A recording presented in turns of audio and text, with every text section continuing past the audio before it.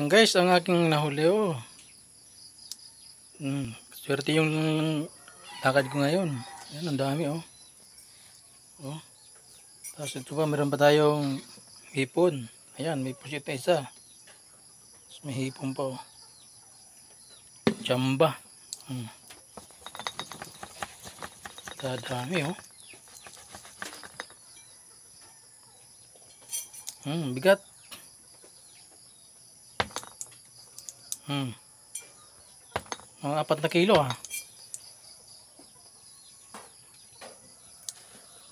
Itong masda guys, masarap to, paksiw. Oh. Ayun pa, meron pang ano, ito masarap oh. Ang ganda. Hmm. Jackpot.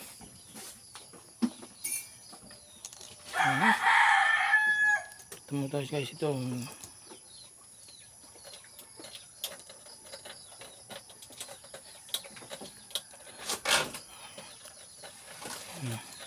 Sus. Sarap ng buhay dito sa probinsya. oh. Press na press talaga ang ulam. Hmm. Bagong huli.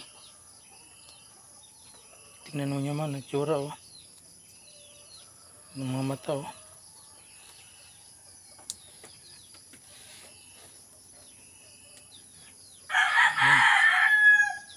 Pusit. Hipon.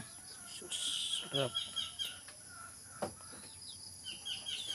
Oh, thank you guys. Shout out dyan guys mga